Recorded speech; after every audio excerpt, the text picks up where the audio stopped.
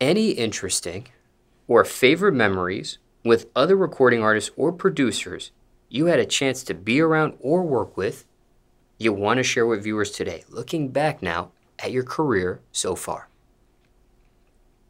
Mm-hmm. Yeah, my little brother P. Yungin. Yeah.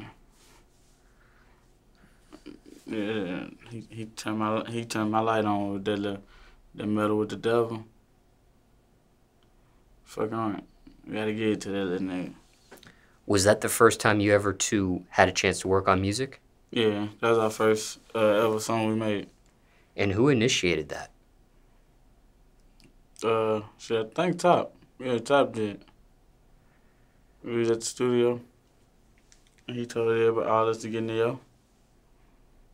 And me and him just ended up doing the song.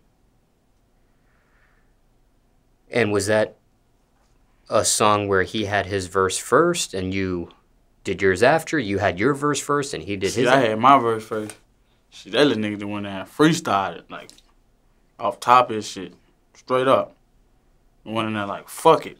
Let me turn you up right quick. See, I'm thinking he finna go in there and play. Man, that little nigga went in there and scraped him. Uh. Facts. And that song is available right now if viewers watching this want to go listen to it. And is it a particular platform it's on or all streaming platforms? Uh, the video out, out now on YouTube is out on Spotify, uh, SoundCloud, shit like that.